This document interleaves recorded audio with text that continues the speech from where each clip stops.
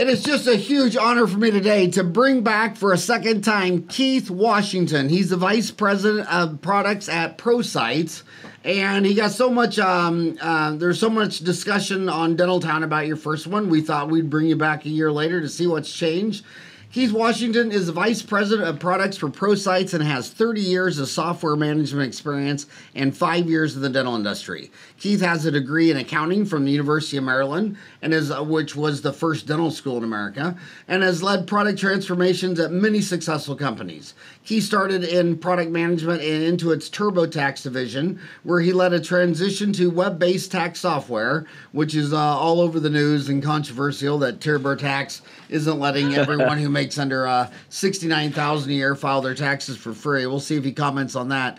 Later, he became the vice president of product management at a leading financial planning software company, and most recently worked at Active Networks, the largest software as a service event management company in the world. ProSites helps dental and medical professionals accelerate practice growth and achieve measurable results through innovative website design and online marketing solutions, including search engine optimization, social media management, and pay per click advertisement. Trusted by over 7,000 doctors, endorsed by 11 state dental associations, and recipient of the 2015 Dental Town Choice Award, voted number one in website design and service. ProSite website design and online marketing solutions are proven to help dental and medical practices to uh, succeed. So, how's it going, uh, Keith? How has uh, everything um, changed in the last year since you've been on the show? Howard, thanks for taking the time to talk about digital marketing and i think you just said a lot right there in, in terms of the number of things that a dentist and a practice needs to focus on in terms of digital marketing it seems like there's so many things to figure out search engine optimization paid search social media facebook all of these things are becoming more complex i think the biggest change is how to deal with all of it and probably most importantly how do i know i'm making any progress. Am I making any money on all of this? That's really probably the biggest things that are changing. It's um it, it it's I think why DSOs are taking off because dentists have to wear so many hats. I mean it's so overwhelming just to learn fillings, crowns, root canals, let alone add Invisalign or placing implants or bone grafting. That then you got to wear all these business hats. You got to be a CEO, HR, marketing, website. I mean, it's just uh, there's just too many hats to wear. How how do you guys uh, make it easier for dentists to wear less hats? Yeah, I think probably the way I think about it is our job and the job of many, um, we call ourselves digital marketing partners, is to help a practice get more patients and keep the ones that they have. And really, that's the probably the most important thing we can do. How can we help you through automation, through us handling the digital marketing piece? So that you can get a lot more patients in the door and, and really help you track your progress and track your return on investment. I agree with you that uh, how does a dentist who really got into the field to really just be of service or to you know really learn how to do their craft now they have to take on take on all of these different components all of this all of these different hats as you said that they have to wear our job is to help make that easy so I noticed that um, in your if you're in the 20 most richest developed countries, they all have websites. But as you go to the 200 least less developed countries, a lot of them are skipping a website entirely and going with just a Facebook page. Do you see that as an intermediate step, or is that really the future? Uh, should a dentist be promoting their own website or a website or a Facebook page? Yeah, we like to look at it. You know, I've seen this in other small industries. If you are a, um, if you run an auto shop, a lot of auto shops now, small auto shops or small businesses are going right to Facebook, and there's a reason for that. But a dentist is a professional, a practice is a professional, and you, as a potential consumer, are looking not just for someone who's on Facebook, but someone who has a digital presence that includes a website. It includes a Facebook page. It also includes reviews on Google, and all of those those things help make me make a decision as to whether or not I'm going to go to you. I, I may have gotten a referral from a friend. Joe told me to go see Dr. Jones, but I'm going to go look and look at really quickly at their digital presence. Certainly, Facebook is taking off. Facebook um, has over 200 million U.S. users, and so we're seeing that growth, and we're seeing the adoption in the number of people and a number of practices who are using Facebook not just as a presence, but as a tool for social media management and communicating with their patients, but now more and more taking advantage of Facebook advertising to help augment some of their advertising needs, some of their marketing needs. It, seems like everything in the news about Facebook for over a year has been uh, less than pleasant, and I always cringe because the owner of Facebook, his dad's been on the show three times, and I always think, God, what if that was right. one of my four sons in the news? I'd probably be crying in the corner like a baby. Um, with all the negative publicity, starting with Cambridge and etc., do you see that um, having any impact on Facebook's um, and how dentists use it or its effectiveness? I mean, um, is it yeah, yeah, it's a good question. There's a lot of people who worry about Facebook and a lot of industries where they say, I'm not going to be involved in Facebook. But again, 200 million users. The average person spends 30 minutes a day on Facebook. And the U.S. adoption continues to increase, especially in the 20 to 35 year old range. So there is no Facebook is not going to go away. And by the way, 214 million in the US, far out you know outpaces Instagram or any other platform, Twitter, any other platform by 10 times. So it certainly is a marketing platform. And just to give you some numbers, I don't want to go too far, but Facebook made 16 billion dollars in advertising revenue last quarter. Um, there's no reason to think that Facebook won't be able to do advertising. And as a platform, for you to communicate or practice communicate with their patients and get their message out, it's certainly something that um, is a positive, powerful, and probably, probably most importantly, cost-effective way to communicate with your local region. With Facebook, you can target the number the users by income, by age, by geographic region. If you, like you said, just decided you're going to do implants or teeth whitening and you wanted to reach a certain age group, in your 20 mile radius with a Facebook ad. You can do that through Facebook pretty easily and pretty effectively. Yeah, because there's a lot of different practices. I mean, if you were um, wanting to place a lot of implants, you'd want a, a bunch of older people, I would assume. Correct. Um, right. What, what what is the what what is the age range you like for dental implants?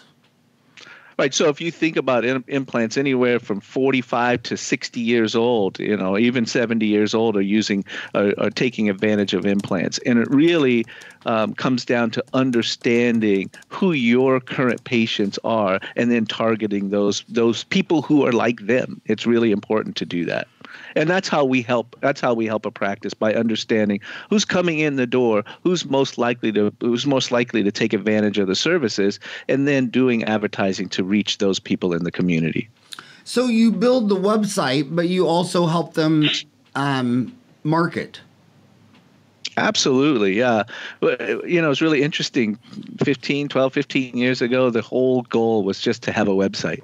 And the industry has grown so much from there. And the, and the practices know that. Then it became important for Google to find you through search engine optimization. And then Google launched paid advertising. And that affects where you're placed on the first page.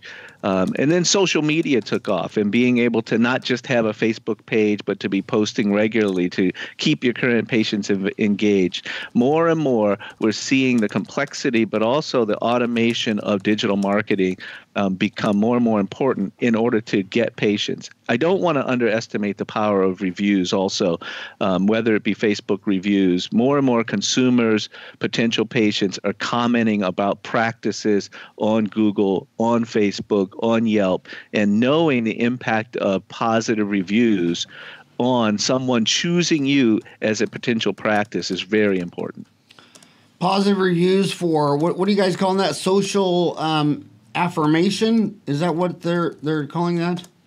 Yeah, I think that's a good term for it. Social affirmation is in is is is not just you know it's not just a buzzword, but consumers people like you and me and you do it as well when you're going to go look for a restaurant or anything that you're looking for you go and see what their reviews are and you're expecting to see four and five stars and if you don't well, i'm just going to go away even if i got recommended but if you have a two stars a bunch of two star reviews in a dental practice that's a red flag for a lot of people, even if I was recommended by a friend. So we really help um, practices get more reviews, more positive reviews from patients.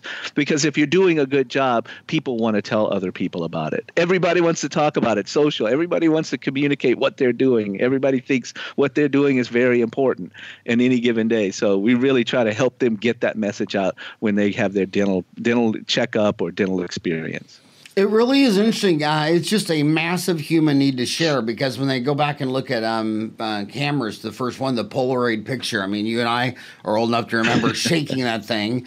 Um, it really wasn't a, a, picture for their own uh, remembrance. It was really turned out to be something they wanted to share with others. I mean, it's like ninety nine percent of all photos are shared. They're not kept in your, uh, you know, for yourself uh, you're sharing it with you with your family. I mean, I you know I did all the time. Every, every time I, uh, my grandson sits on my lap, I have to take a selfie and send it to mom. I mean, it's, you know, right. it's just uh, it's just an interesting thing. Um, is Yelp going away? Um, they they're always in the um, a lot of news stories are saying that Google has really set out to own the review business and uh, making it harder and harder for Yelp views to even show up. Do you see Yelp trending downwards?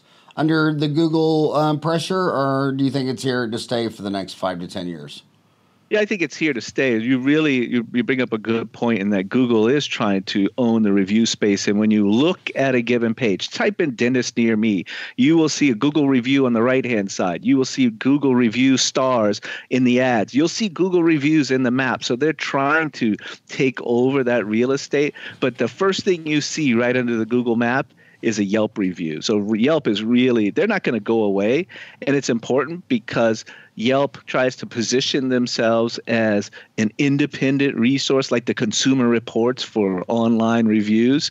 Um, and so then you know people, so many people trust the authority of Yelp, but Google will keep you know pushing because they own that real estate. They'll keep pushing reviews. We like to have our customers, our practices have reviews in multiple sources, even in, including Healthgrades, which is which a lot of people still value. Um, it seems like it seems like I, I don't know. Maybe it's because I was born in Kansas and I went to dental, you know, Creighton in Omaha, Nebraska, and dental school in Missouri. But it just really seems like Yelp is a big um, East Coast, West Coast, big city thing in San Fran, San Diego, like where you're at, instead of Kansas or Missouri or Nebraska. I mean, I'm 56 and I've never seen anybody use Yelp. Do you think it's more a big city urban thing? Or do you think I just have a bunch of illiterate friends who don't know how to use Yelp.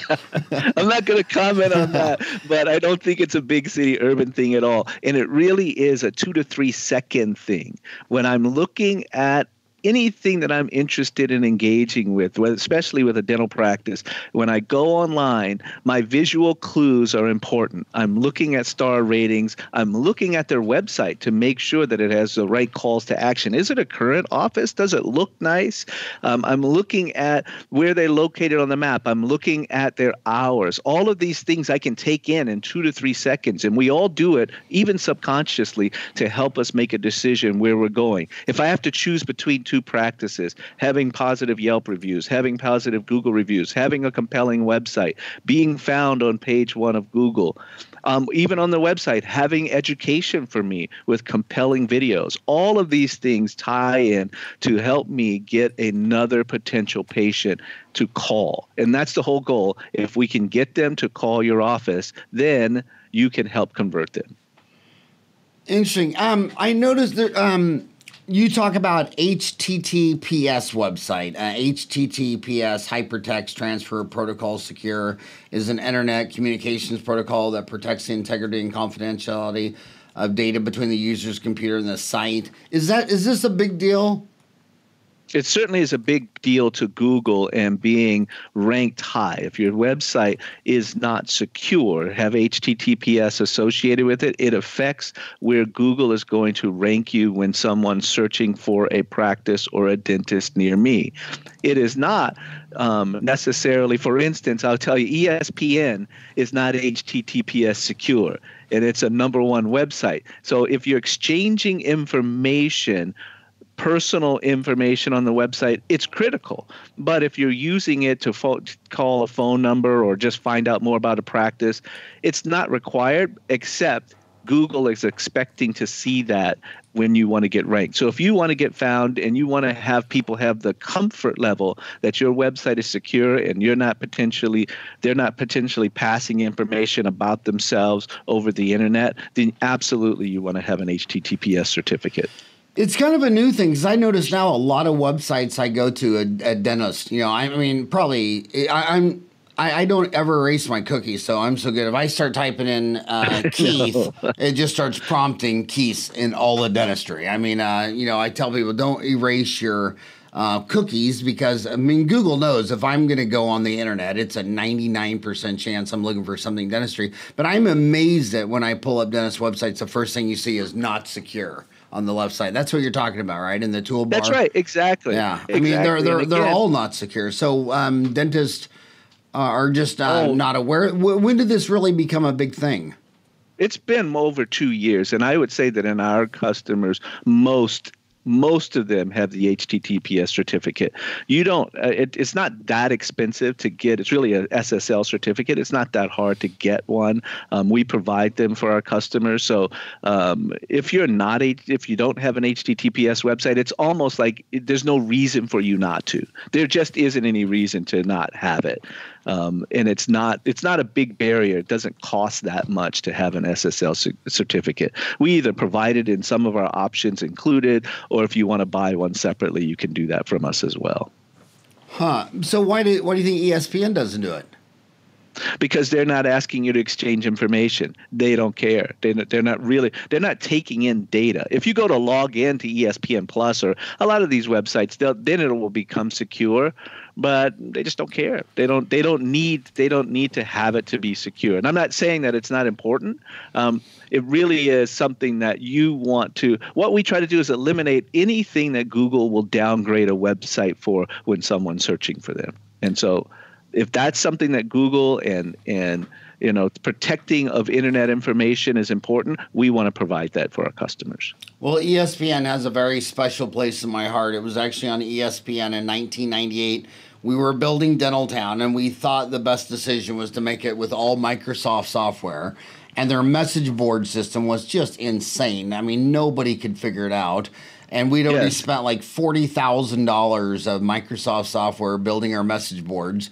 And then um, um, I was on the ESPN website and I was looking at how awesome their message board was. In the bottom corner, uh, was the name of the company. It was in London, and we called them up, and they said, "Yeah, we'll sell you software for four hundred bucks."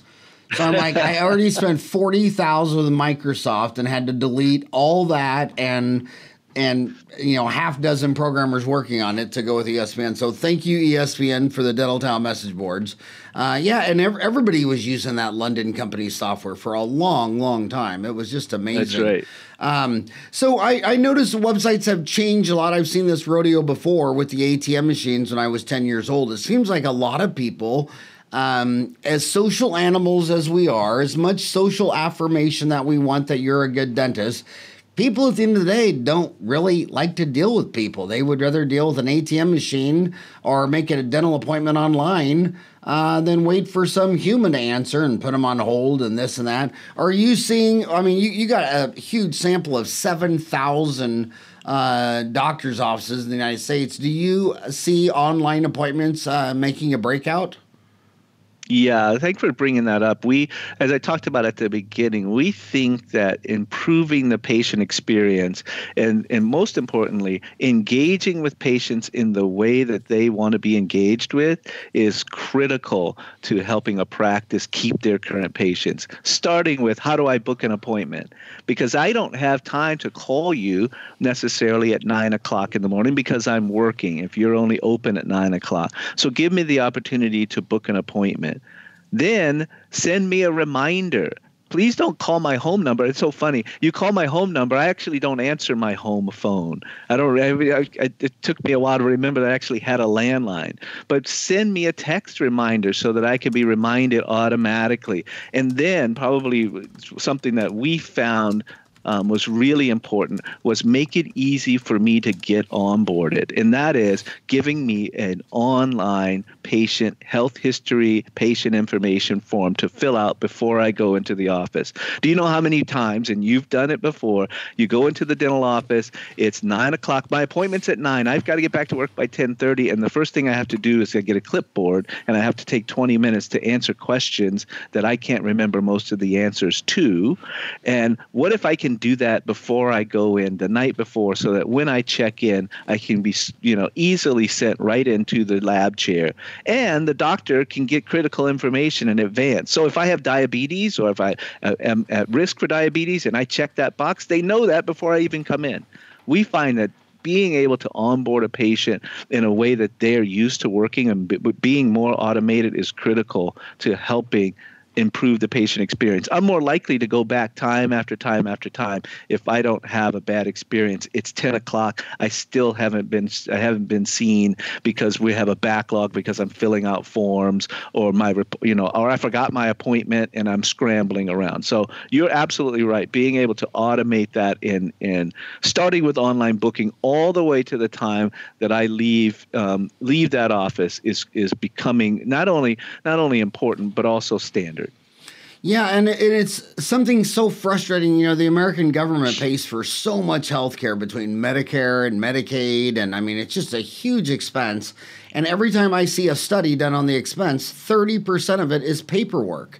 And it, it's like yeah. it, it's like I, I'm a dentist. Like I mean, it's 2019. They come in and they still have to um, show me an insurance form, and we have to have a human call. I mean, it, we still yes in our office have a full time person that calls every single dental uh, insurance for every single patient, and we wait till we talk to a human because it's worth it in our 32 years experience not to have to deal with all the confusion uh, when we think something uh, versus what's covered. And I, I just can't believe it's not all automated. I mean, even the dental offices that have online forms, they're just there to print out and then you have to have a printer at home and then you have to fill them out and bring them in and that data's got to be i mean it's just it, it, it, i mean it's just so if, if they just sit there and made all of that um, paperwork uh, go away, and if they uh, and then if they use uh, simple insurance uh, mechanisms like co-payments um, to um, you know when you tell grandma she needs a fifty thousand dollar uh, knee replacement and she says and it's not won't cost her a penny and she's like well you're the doctor well then someone's got to pay 50000 but if you said you have a 10% copay your portion's 5000 half of them would say you know i'll just take Bufferin. Uh, you know uh, so so the, these two simple steps why is it taking healthcare so many decades just to do so much of the basic stuff especially in dentistry? I mean why isn't there just yeah. an app for delta? When someone's got delta they come in they pull up their app they show me a barcode boom done yeah, it's a problem we're working on solving. And I will say that our online form solution, you don't have to print them out. Um, it is an interactive online form, and that form data gets put right into the practice management system. So there's no need to print them out in the office and then have to rekey them, which introduces another element of error. It's all online and it and, and provides, by the way, critical insurance information before I walk in there. I don't know if I can solve the problem of having to call the insurance companies, but it's something that's important to us um, to be able to automate insurance verification. We think we can do that. And we think that that's becoming, it, it it's going to become important because without it, you're just wasting time at the front office. You're wasting time with the person who's trying to do so many things. You know, we talk about the dentist doing so many things. Imagine the person who's in charge of the front office having to juggle so many things just to keep the calendar full, which is probably their primary goal. So we, we think that insurance verification, but also, as you pointed out, providing me information up front with how to pay for this. I talk about this all the time when when I go into a dental office and they say, "Okay, here's a finance person and the bill is going to be $400. Would you like to have the treatment done now?" And my answer is always this. Most people say this. I'll have to think about it. And the reason I have to think about it is because I don't know. Is my insurance covering some of this?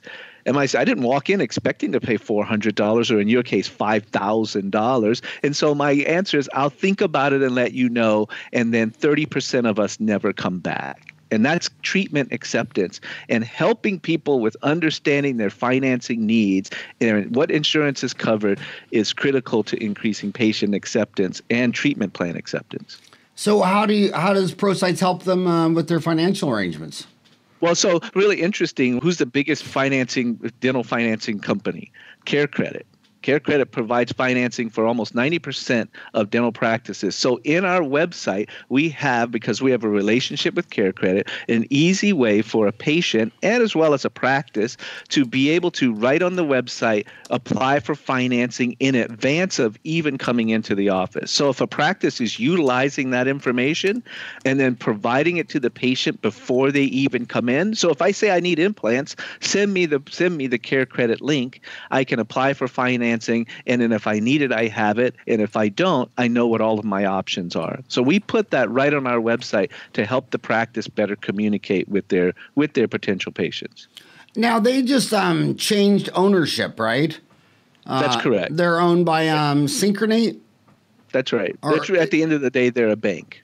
They're uh, bank so, so it's owned by My Synchrony, correct? That's right. So That's right. has that? Uh, how long has that been about? I think that's been at least over a year, and it hasn't impacted what Care Credit is providing in terms of financing for for um, for dental patients. So it's the same same game. Uh, hasn't really same changed. Game, that's right. Um, same thing, and as a matter of fact, it's a benefit to the practice because the you know the practice's relationship with Care Credit also provides benefits to them. Huh. Um, so when um, when you talk about the um, your your paperwork being uh, filled out online that, that that's a rare thing. I mean, there's 211 there's 150,000 full-time dental offices in general, 30,000 specialists. Right. What percent of them do you think you can fill out the healthcare line um, forms online where it goes right to the practice management information system? Yeah, I was surprised to see that over 90% of our customers put a PDF on their website right, when, before right. we started doing this. And I think that's okay so that I can write it in, but it still has human error. We're seeing, we saw adoption grow to now almost 30% of our customers who use online patient forms that are interactive. It only asks me as a, as a patient the questions that apply to me. If I have family members, I can I don't have to start all over every time time that I have a family member. It really speeds up their process. And so we're seeing that adoption continue to grow. I was surprised at the that we are meeting a need that is you know really so apparent in the industry and being able to have an online form that makes it easy for a patient to fill out, that goes into a practice management system that provides critical care information to the doctor in a critical care outline and lets lets the lets the potential lets the doctor before I even see the patient know all of the facts that I need to know about this patient. And and you you think that's uh, that's taken off? I know it's taken off, and I think we're just at the beginning. Really, this whole concept of patient experience, we're just at the beginning of understanding how to change that over time some of the, I tell you, one of the good things and bad things about this industry is that change happens slowly, and so it means that you're not gonna, we're not fumbling around making a lot of mistakes all the time, but it also means that it gives us time to get it right the first time. And so um, I'm, I'm, I think that you will see, you, you'll see, look back five years, things that you thought would never take off, or things that you know thought, oh, it's going to take forever, now are just standard. When I talked to, if you talked to me five years ago, and you would have said to me, I'm never ever why do I ever care about Facebook? Why do I ever care about social media? Now that's just standard. So a lot, a lot of the the argument about Facebook versus Google is that okay, so you're uh, you got 200 million Americans on Facebook. They're on there half an hour a day. They're scrolling by. You see something from a dental office website, big deal. You're not in the mood. But when you're absolutely in the mood, your tooth broke. You Google dentist near me that's right. And that, that that's a Google thing. So the question is what's more important, a Google ad or a Facebook ad? Yeah. So uh, great great question. We look at it as what's more why don't you do both and then track to see what's working. Um, really, more and more, we're trying to showcase or show people the return on investment, show practices the return on investment. If I spend $200 on Facebook in a given month and I get two patients, do you think that's worth it? It may be for a given practice. If you think about just how much revenue they can make from those two patients in a year alone, well, think about if they get to keep them for five years. So look at that. And then if I spend $300 in Google advertising and I get two patients, is that worth it? Making sure that we know that a practice knows what's coming what's what's providing the best return on investment if i live in kansas it may not be facebook ads if i live in new york city i need to have a multi-prong approach to all of my marketing activities it's not just sending in mailers in the in the neighborhood anymore although that still does work. It's a multi-prong approach and then tracking everything that you spend money on to see what works and then spending more money on that.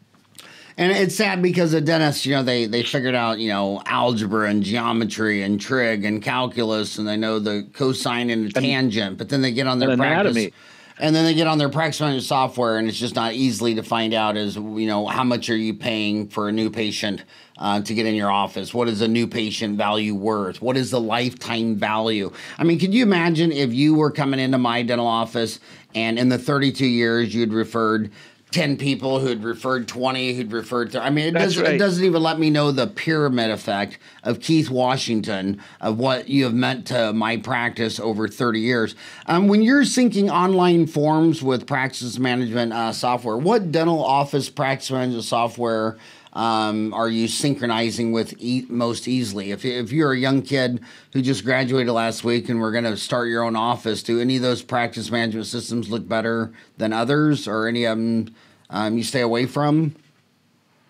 Yeah, I'm not. I, or, or is that um, politically um, too incorrect yeah, to ask yeah, someone uh, that? Yeah you know, dental practice management systems um, are really based on their, their whole goal was insurance billing. And so they have grown over time into a lot of different components, and some of them are better at some things than others. Our online patient forms can be put in the folder of any dental practice management system. We're currently mostly integrated, most tightly integrated with Dentrix. Dentrix is the, the, the largest provider. I will tell you that over the next five years, there's another potential opportunity for growth. For someone who's been in software for 30 years, I've seen um, I've seen changes when when you know when you have some that somebody who's been around a practice management system that's ubiquitous. There's opportunity for someone new to come in, and so I think they all know it. I think it's a it's a critical application. Our goal is to integrate with all of them. Our goal is to be um, to be you know I, I guess agnostic about the dental practice management system and support the practice in the best way that they need. But you just said that you've seen in other industries where some software innovation came along. What what type of innovation are you uh, uh, seeing, or what what type? Yeah. So you use practice management systems a lot, and I've seen and, and worked with a lot of them, and some of them are cumbersome to use. Some of them you've had to spend so many hours in training in in being able to use that solution but you don't spend hours in training or even use a manual anymore in most of the new software things that you purchase. It becomes it becomes almost required that everything that you do is easy to use and, and is self it, it doesn't require training. So I think there's an opportunity and I know that the practice management systems are looking for ways and someone new will come along to come up with a seamless easy to use practice management system that doesn't require 25 30 hours of training for each one of your staff members. And it's all cloud based. So you don't have to spend a lot of money on servers in your office. So a lot of companies are, are going that way. Again, our goal is to get the patients in and, and help help you um, help you convert them. But the practice management system industry is just ripe for you know a, a, a, a change in the way that people interact with it. Do you see any uh, uh, emerging players that attracted your attention? Yeah, there's a. a, a I don't want to you know call them out, but there are co- companies who started in the cloud. It's really interesting. You mentioned TurboTax a long time right at the beginning of this, and TurboTax was a desktop application, and we were when I was there, we were you know we had to get ahead of the internet and the web, or these web-only tax software companies would come along, and so now cloud-based, somebody who's natively cloud-based um, has an advantage because I can make changes to my software without having the practice have to update their server. So if you if you look at companies that are natively cloud based, those are the ones that will you know likely take off and and have an impact on the industry. What you're saying is, is so factual because Dentrix is the leader, and I remember going up there. 32 years ago, I mean, in Provo, Utah, and talking to the founders, right. and he's right there in Mike Gordon.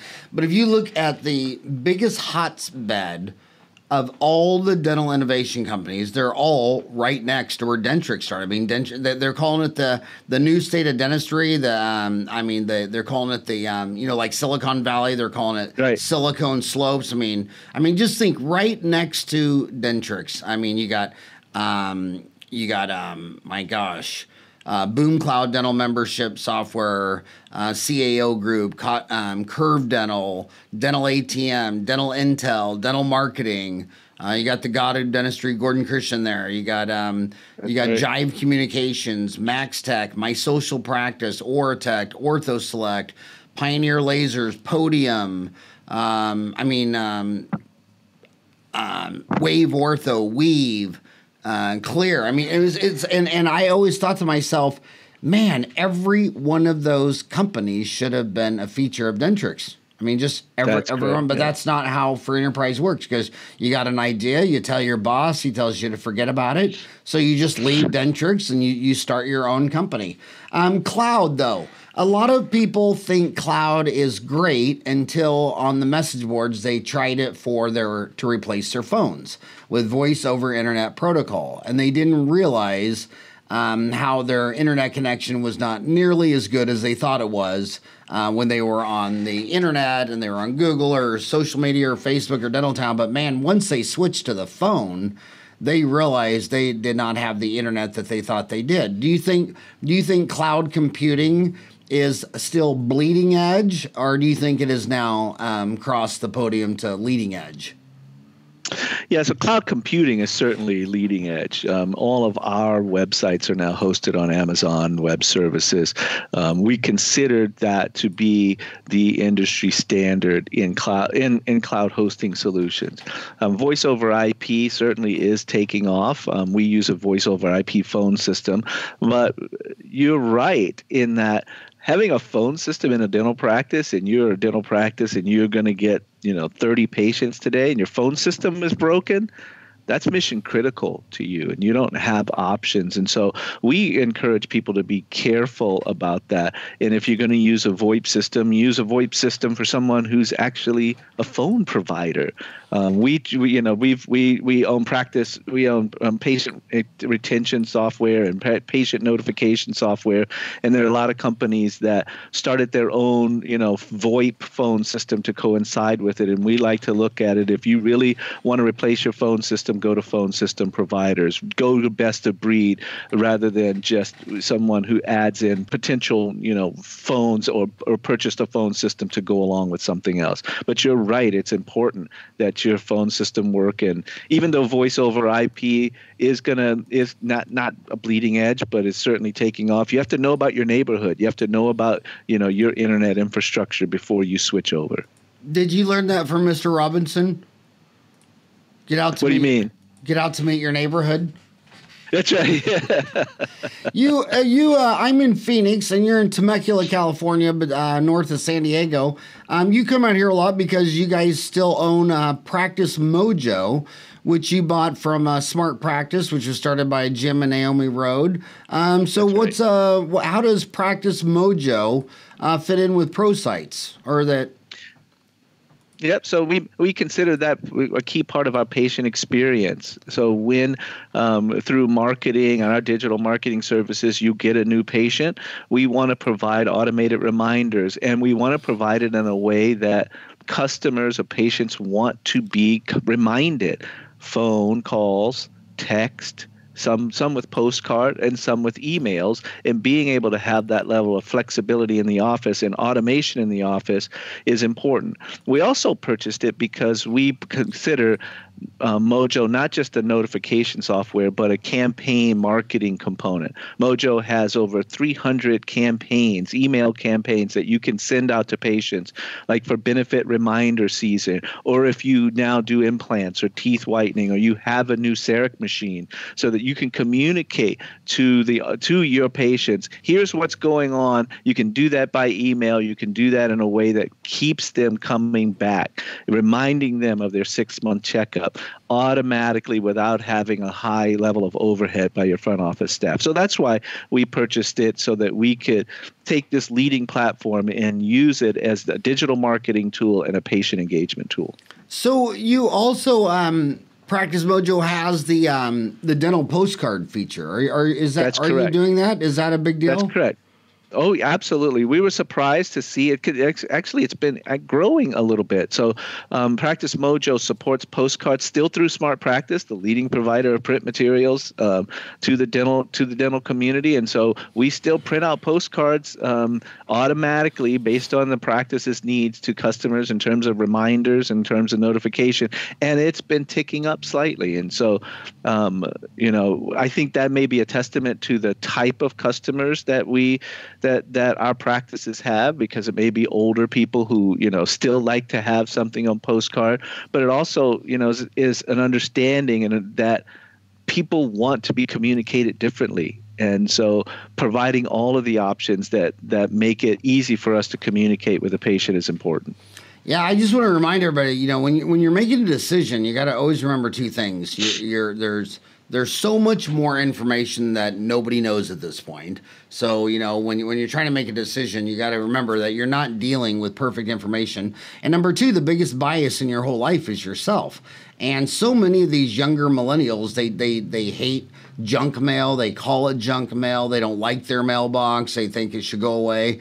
But, but everybody who measures this stuff says, emails and direct mail are still the two biggest features. I can remember being down in Smart Practices down there on um, uh, McDowell Road 30 years ago when Jim bought his first postcard printing machine. I think he paid $5 million for it. And back then, everybody wow. knew direct mail was a monster huge. But as all this social media came along, they, they acted like direct mail went away. And why it's so confusing is because 99% of it is thrown away. But my gosh, when one when you're doing implants and you mail to everybody in your neighborhood that's over 65 and one out of 100 grandmas looks at that card and calls your office. I mean, that is just a cash cow. When I look at when I talk to a lot of these DSOs here on the show where they they want, you know, a big new patient flow of 100 new patients a month, they say, "Well, it's real easy. We just if we want 100, we have to mail out 100 postcards 100 times." Every month. I mean, if we want to, if you want uh, 50 new patients, you mail out 50 100s. There's 5,000, and it is extremely uh, powerful marketing. That um, remember, if you're a millennial and you hate direct mail, uh, grandma and grandpa don't hate direct mail, and it, it still works.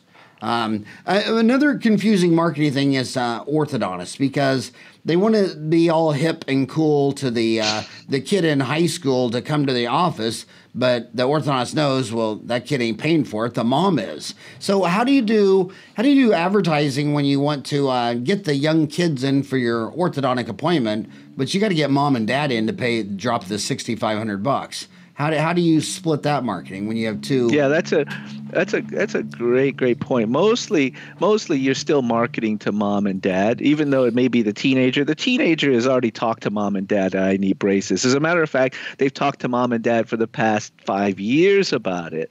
Um, it's same same with my t- my teenager. First, it took me you know three years to convince him that they should get he should get braces because he didn't want braces. And then it became the point that dad i want braces. And so you still market to the to the parents. What we're seeing more and more is adult orthodontics taking off, that more and more people in their 30s and 40s are now getting braces or, or Invisalign and, and, um, and wanting to have their teeth straightened. And so we're changing some of our marketing tactics and look at Facebook advertising to that market to help augment the young, you know, the teenager or the, you know, the early teen market. That's where we're seeing an opportunity. Um, back to the website online reviews. What how, what advice would you give to a dental office to get more positive online reviews? Yeah, quite simple. Ask your patients.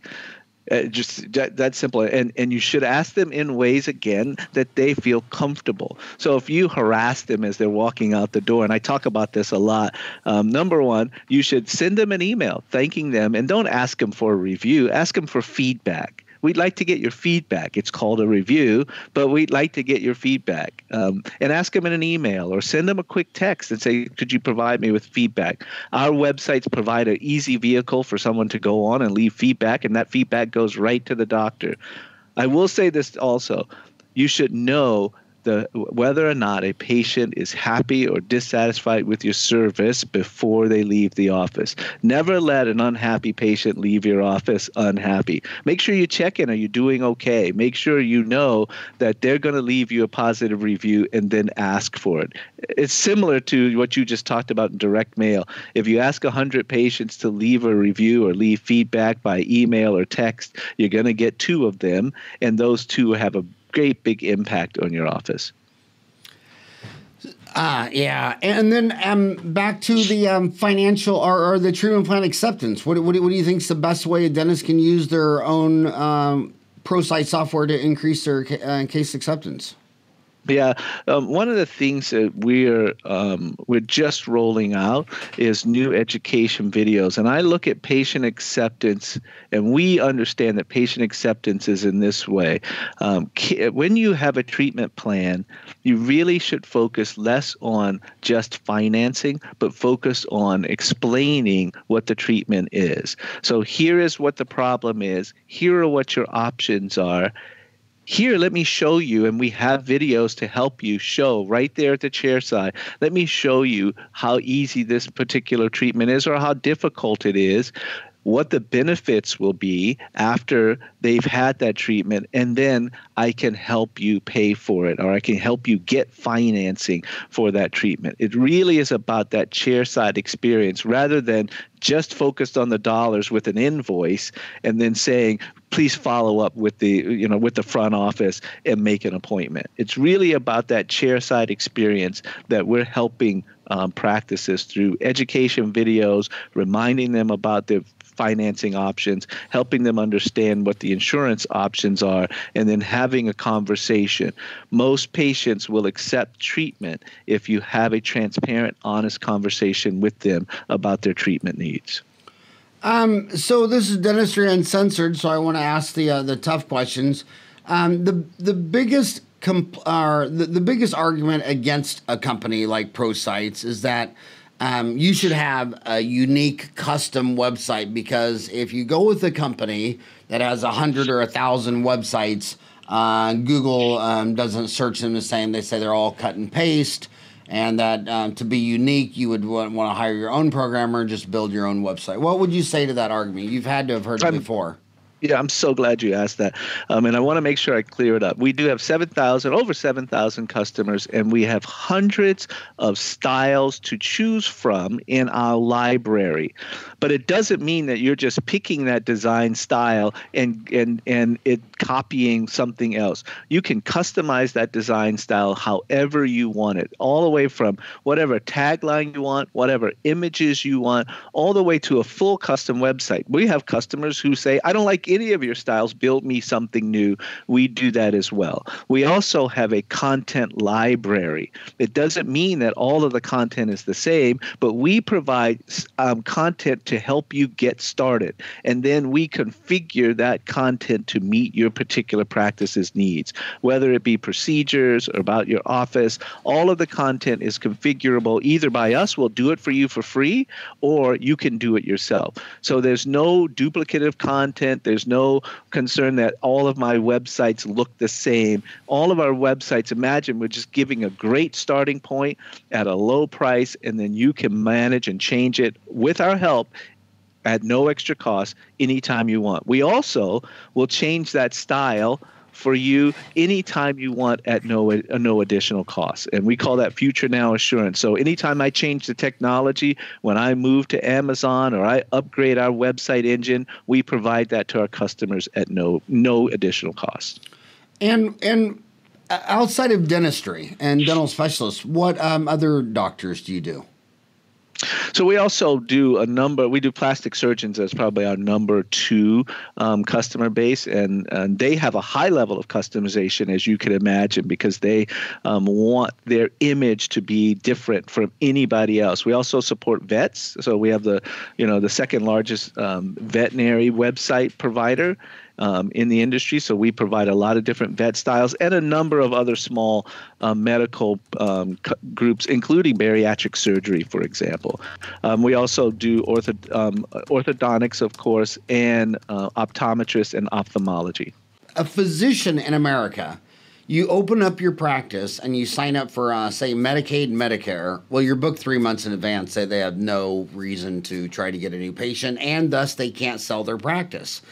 So dentists, you know, when when you see all these practice for sales, you got to remember physicians can't sell their practices. I mean, the, anybody that takes Medicare and Medicaid has more uh, patients than one. So you're talking about cosmetic surgeons, plastic surgeons, bariatric surgeons, veterinarians.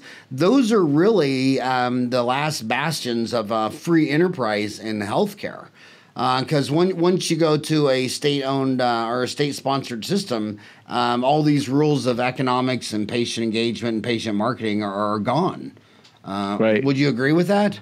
Absolutely, absolutely. You have I, I, agree with the concept of you know, especially in the plastic surgeon market, if the free market, um, they're a high touch, high value group um, who are really. It's based on their ability to provide a service to a, a niche market, and so our you know us being able to partner with those with those types of industries really um, requires us to have serious marketing chops to be able to do that.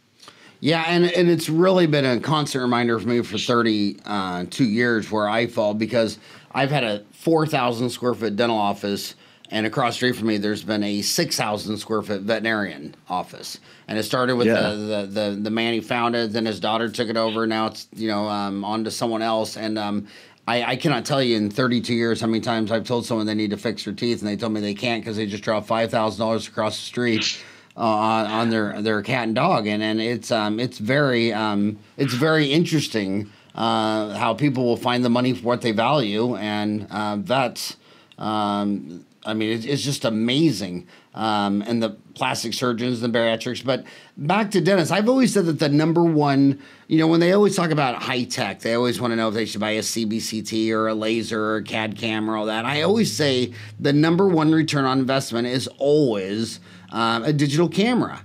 And these plastic surgeons, the ones in Phoenix that I know that are closing the most cases, it's because when someone comes in for a consult, they're showing them before and afters of their own work. They're not giving them a brochure from the American, uh, you know, uh, Cosmetic Association. They're saying this is what I did. And a lot of the guys who do like facelifts or tummy tucks or breast augmentation say there's only about about four cases they do. So once they see what you are and they show you a dozen before and after pictures of this exact case by my own work, it, it, it means everything. It, means it means it's it's the whole deal. So on um, so for dentists uploading their own work uh, to their website, how easy is that? as long as and you know this as long as you're getting um, sign off from the patient it's important um, we see and you asked me how easy it is it's quite simple it, all you have to do is go into our editor and we provide a page an out of the box page for before and after photos but we see the number one place after the home page that every consumer goes to is number one about the doctor so that page is really important, and that's a custom page. Number two, meet the team. I want to know who the team is. And number three, before and after photos. And so I agree with you 100%. Buy a digital camera. All you have to do is upload those photos to the computer get them you know into our editor and we will make sure that they look pretty and make sure that they showcase what you want so all those three pages and then they from that point on um, patients, potential patients, look at videos, go to the procedure pages, learn a little bit more, and and become educated before they come in. But you're absolutely right. Having those before and after photos is critical. Um, my God, we talked about so many things. Is there anything you wish we would have talked about that we didn't get to? Well, you're right. We did talk about just about what a wide range of things. I just, you know, first of all, I want to thank you for for taking the time. It's it's it's it is an exciting time in digital marketing. It is an exciting time in automation of patient experience.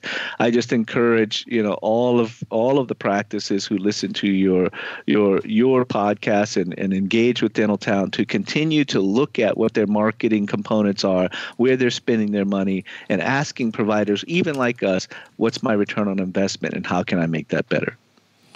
Right on, right on. Well, Keith, thanks for coming on a second time. And what I um, want every dentist to do when they get to work is um, go look at your website. I'm thoroughly convinced most dentists listening have not even looked at their own website in a very, very long time. And then I also um, um, think that a really neat um, exercise to do is, you know, in business, everybody should have their own unique selling proposition. Well, you know, you're in a you're in a town of ten thousand people. There's twelve dentists. When's the last time you and your team looked at the twelve websites of all the dentists in the valley? One thing you'll find out that I've always found out is you'll um, one of your best buddies across the street. Uh, maybe he's an implant legend in his own mind, and and very right. very very well um, good enough to, to do an implant on me any day of the week yeah, you go to their website, you you would never know that. And it's, right. it's like it's like you have sometimes you're sitting there at a bar with a dentist and and after 20 30 minutes you're looking at the dentist's own website and you're like, "Wow, this this website isn't even a connection of the guy sitting next to me eating a cheeseburger." I mean, how come all he's talking about is bone grafting and placing implants and emergence profiles. And when you look at his website, uh, you, you don't see any inkling of any of this. And then when we were little, um, only the rich people uh, could fly airplanes or they work for a big Fortune 500 company or the government. Now people are, are living in these small towns are thinking, I don't think my dentist could do this and I really want to have this done. And, and, and Southwest Airlines only cost me $200 to fly from Salina, Kansas to Kansas City or Dallas or Oklahoma and let some big city doctor do it because you know they're just so much better in the big city and they're not any better in the big cities. It's just, uh, but the competition in the big city um, makes the uh, the dentist uh, pay more attention to their website, and uh, and so you just you just got to take this serious. First impressions are set in lead. You never get a second chance to make a first impression, and your website really needs to be as good as it can be. That's so, absolutely right. So, Keith, thank you so much for coming on the show a second time. You have to come back in another year or two, or maybe uh, when you're down uh, um, visiting Practice Mojo, you have to bring the Practice Mojo people over to the studio. Oh, I'd love to do that. That's great. I appreciate you taking the time. All right, and post a picture of their postcard printer because I'm sure all the millennials listening do not believe that there's still money to be made off a postcard in direct mail. That's great. Great point.